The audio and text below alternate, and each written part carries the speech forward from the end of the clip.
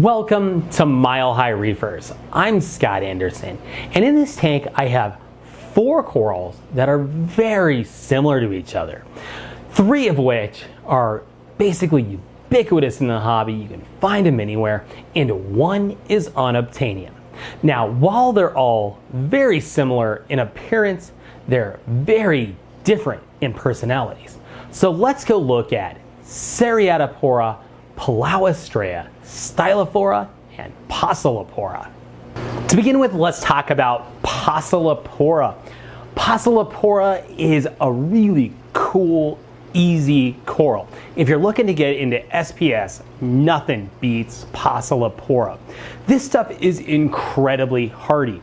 It comes in really two or three basic colors. You've got your greens, so different shades of green. This is a little more on the teal side, but you'll see some really bright greens out there, all the way to the darker greens. And of course, then you've got your red and pink side of the spectrum. You'll see super bright pinks all the way down to purples and browns.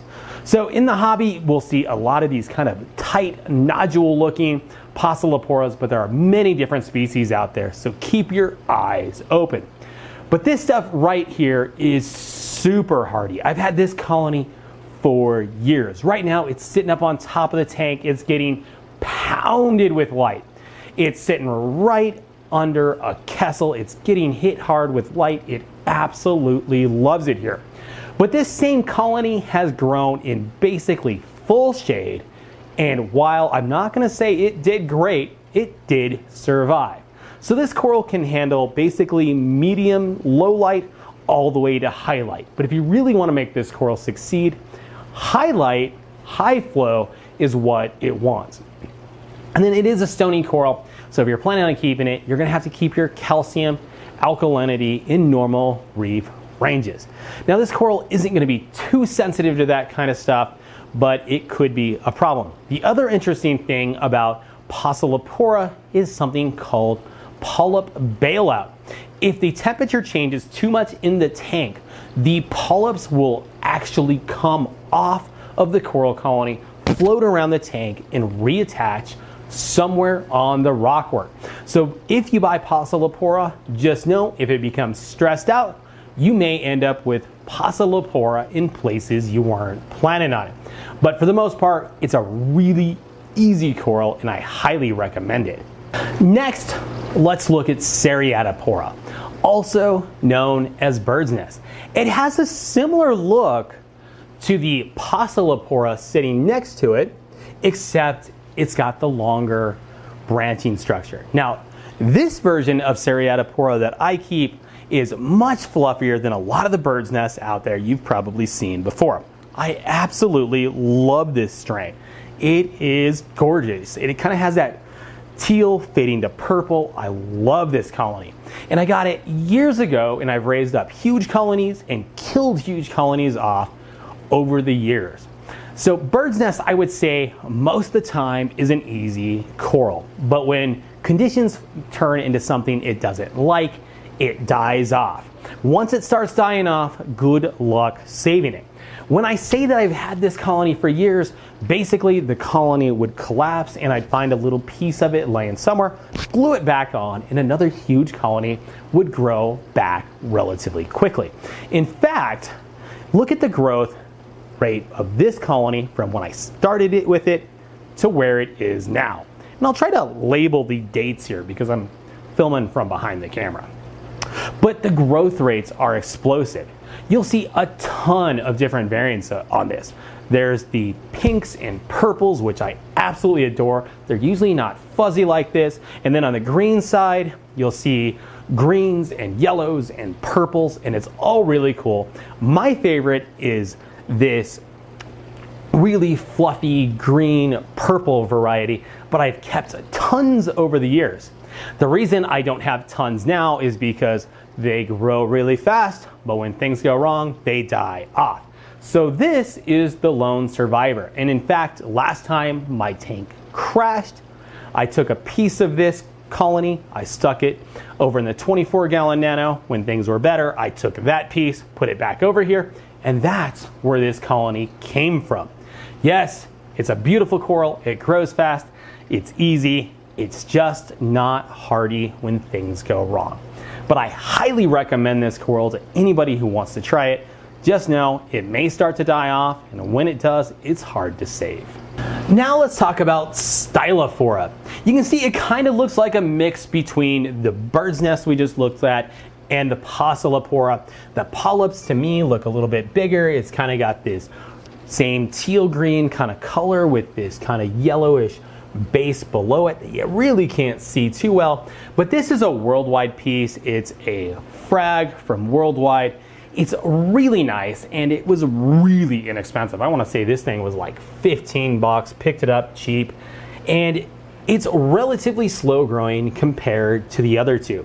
Now, this particular colony is in somewhat shade. It's below the bracing in the center of the tank. So even though it's up high, it's just not getting the light that the other two are getting. And it also has those bigger, heavier branches. But when my tank crashed last time, this coral sailed through it. It was like nothing happened. Everything went wrong in the tank, and this coral could not be bothered. And same as the other corals, you're going to find this in basically shades of pink, purples, and browns, and basically shades of green. Obviously, brighter is better, but this one here is just that nice teal color. It's super easy to keep, and it's a really cool coral. It's going to get big, heavy branches. I love it. And as far as easy SPS goes, really, I cannot recommend Stylophora enough. Next, let's talk about Palauastrea. This coral is unobtainium. It's relatively rare in the wild, and what really makes it unobtainium, though, is nobody collects it. This coral was collected by Jake Adams. And I need to make a little bit of a correction now. I don't know, four or five months ago, I did a reef update video where I called this Anacropora. It is not, it doesn't look anything like Anacropora. Nobody actually caught it as far as I know because nobody mentioned it, but it's one of those things I caught once I uploaded it to YouTube. I put the video on and it's like, ah, crap. Well, it was too hard to fix at that point, so I just left it. This is Palauastrea, and it was collected by Jake Adams, who gave me this frag many years ago. So Jake collected it, brought it home, and then he fragged a piece off, which he gave to me. I brought it home, put it in my frag tank, and it died. Basically, from the base to the tip. It just slowly died off. All that was left was a little tiny bit around the tip. I was about ready to throw this colony away, but since I had a few good polyps on top, I let it live. I left it. I left it for years downstairs in the frag tank. Well, over time, it recovered. So it filled back in, and now I've got it up in the big display, and it's really doing well up here. So I'm really excited to see what this coral does. It's an SPS with white polyps, which is really interesting. It's got big, heavy branches, so I'm really excited to see what this does. Hardiness wise, I'm gonna say it's a relatively hardy, probably somewhere between bird's nest and Pocillopora. It's super easy, super, or I wouldn't say super easy, it's a super cool coral, but good luck finding a piece. I know of this one, I know of the colony Jake keeps, and that's all I know about in the United States. There's probably more, but that's all I know about. So super rare coral, and I'd love to know in the comments what you think about this coral.